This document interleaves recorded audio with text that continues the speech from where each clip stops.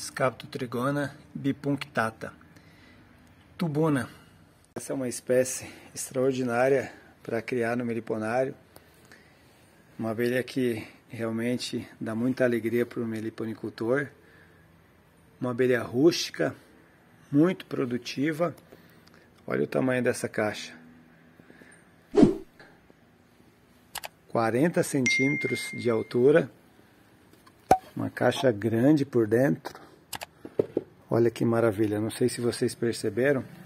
A tampa estava virada. Porque essa aqui é uma abelha que tem uma predileção muito grande para a produção da própolis.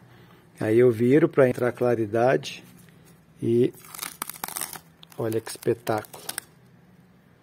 Olha a própolis que ela começa a armazenar. Um show. Essa caixa produziu muito da última vez. 800 gramas, uma quantidade bem legal. Dá um número muito expressivo do produto pronto. Vou dar só uma olhadinha nessa segunda caixa aqui também. É uma caixa também que tem uma predileção para própolis. Já deu para perceber, ó. Logo, logo eu consigo fazer uma coleta Olha que própolis linda. Vocês precisavam estar sentindo o cheiro dessa própolis. Uma coisa fantástica.